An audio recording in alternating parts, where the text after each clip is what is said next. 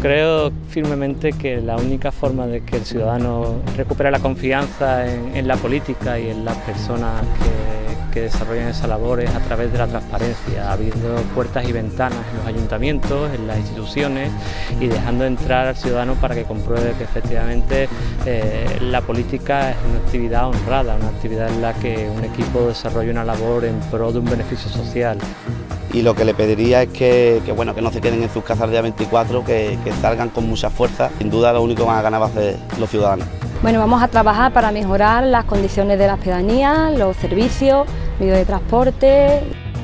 La cercanía es muy importante, mm, conocer desde cerca lo que los ciudadanos piensan, lo que el pueblo quiere, la empatía, ponerte en el lugar de los demás.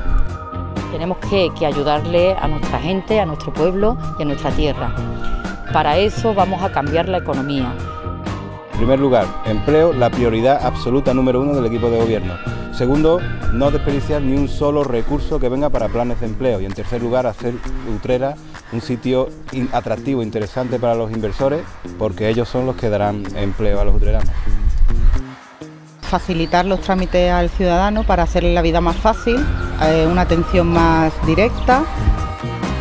Los utreranos se merecen una oportunidad. Queremos que confiéis en vosotros, porque el futuro depende de vosotros. El futuro nosotros lo queremos programar y queremos ganarlo de la mano de cada uno de vosotros, de cada uno de, los utreranos, de cada uno de los 55.000 personas que conformamos esta ciudad de nosotros. Por eso Utrera está en ti y por eso queremos que el día 24 ganemos el futuro de esta ciudad.